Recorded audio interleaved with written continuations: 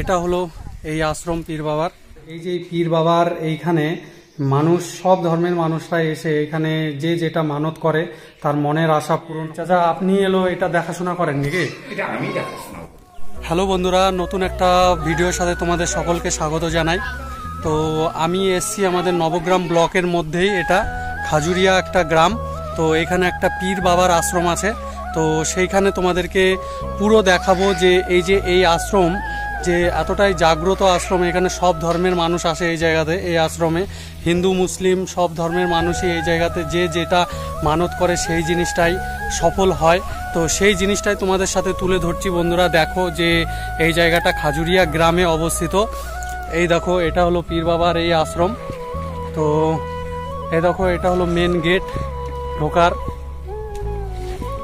এই আশ্রমে ঢোকার, এটা হলো মেন গেট এই দেখো দেখছ বন্ধুরা? চলো ভিতরের দিকে যাই। ভিতরে গিয়ে তোমাদেরকে পুরো দেখাবো যে এই জায়গার মাহাত্ম আর এইখানে কে থাকে, কি এই এখানকার ইতিহাস সম্পর্কে জানব। তোমাদেরকে পুরো বলব যে এইখানে। তো এই দেখো এইটা হলো পীর বাবার দরবার, এই যে এটা, এই যে এখানে। তো এই দেখেন, ইনি আছেন। তো কি চাচা আপনি এলো এটা দেখাশোনা করেন নাকি? এটা আমি দেখাশোনা ও এই সাইড আছেন। আমাদের গাছের হজরত আলিপুরি ফকির বাবা বলে সাধু বাবা বলে বুঝলেন আমার আমি মনে করি কে ভুলবে না ভুলবে আমার যে জীবনের মালিক সে আমাকে এই সাইড আসেন এই সাইডে। এখানটা তাছাড়া কেউ নাই হ্যাঁ। দিয়ে এই জায়গাতে কি সব ধর্মের মানুষই আসে এখানে? সব ধর্মের মানুষ আছে। হিন্দু মুসলিম জৈন খ্রিস্টান সমস্ত মানুষ আছে। এটা হচ্ছে রোজা হ্যাঁ।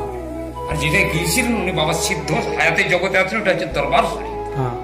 উনিও বাবা এরকম ছিলেন কিন্তু উনি পর্দা নিয়েছেন হুম। হুম। বুঝতে পারলেন? তো এই জায়গাতে নাকি শুনেছি যে যেটা নাকি মানত করে বা তার সেটা পূরণ হয় এই জায়গাতে? অবশ্যই। অবশ্যই পূর্ণ আল্লাহ মালিক করে হুম। মনে মনে আপনি যেটা জপবেন হুম।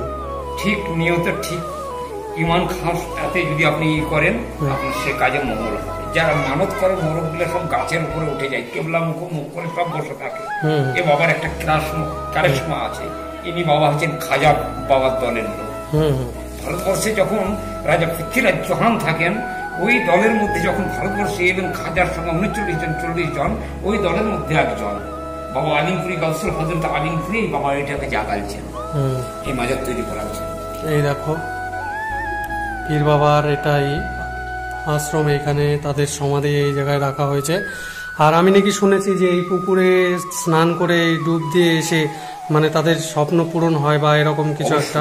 এটা পীরেরই দিচ্ছি হ্যাঁ। এখন অন্য আন্ডারে চলে গেছে হ্যাঁ। এটা পীরেরই দিচ্ছি আচ্ছা আচ্ছা। তো এটা তো আমাদের নবগ্রামের মধ্যে না এটা? অবশ্যই আমাদের নবগ্রাম থানা। নবগ্রাম থানার মধ্যে। আর এখানে কোন সময়ে সব থেকে অনুষ্ঠান বা এরকম কিছু হয়? এরা অনুষ্ঠান প্রতি বৃহস্পতিবার মানত যেটা হয় হ্যাঁ। মানত যেটা মানুষ দেয় প্রতি বৃহস্পতিবার মানুষ এখানে আসে। ওই মানত যার যেটা থাকে খাসি মোরগ যে যেটা মানত করে। ওই সেদিন সিন্নি বাবদ যেটা আপনার তোফা শরীফ পরে মানুষ ওইটা সেদিন মানত দেয়। আচ্ছা। আর বছরে একবার অনুষ্ঠান। হয়। অনুষ্ঠান। কখন? সেটা হয়ে গেল এটা সব করা আছে হয়ে গেল। চৈত্র মাসের পহলা থেকে এবার প্রথম দিন হয়েছে প্রথম দিয়ে আছে। এর আগে ছিল চৈত্র মাসের সাতাশ আঠাশ থেকে চালু কয়দিন হয় অনুষ্ঠান? অনুষ্ঠান চার দিন তিন চার দিন হয়। ও আচ্ছা। পাঁচ দিনও হতো কিন্তু এখন কমে গিয়েছে। তো আর এই দরবার শরীফ এই মাজার আমি চালু করেছি বুঝলেন? এই পুরুষ পুরুষটা হচ্ছে ফ্যাক্টর মেলা খেলা ফ্যাক্টর বাইশ করে খিচুড়ির পানি টিবল টিপে বহন করেছি। আর দশ বছর চালার পর দেখেন ট্যাপ হয়ে আছে। আপনি অন্যান্য মানুষকে গ্রামের জেনে দিতে পারেন। আর এই রজা শরীফে আমি থাকি আপনি অন্যান্য মানুষকেও জেনে দিতে। কেউ দেখাশোনা আপনাদের এই খাজুরিয়া গ্রামের হিন্দুরাও এখানে সবাই আসে হিন্দু মানুষ খুব কম। এখানে হিন্দু মানুষ নেই। আমাদের একটি গ্রাম হচ্ছে একচটিয়া মুসলিম ও এই খাজুরিয়া? খাজুরি পার্শ্ববর্তী আছে আপনার আদিবাসী হরিপুর ওটা হিন্দু গ্রাম। পাশে আছে কোমরটা সাগর দিকে থানা ঠিক আছে?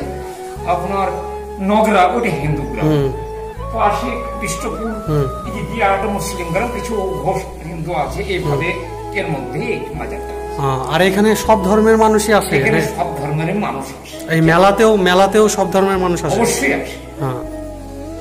এখানে বিশাল জাগ্রসর বা বিশাল কিছু একটা ইয়ে হয়। হ্যাঁ ঐশ্বরিক মানে বিশাল আছে। হুম।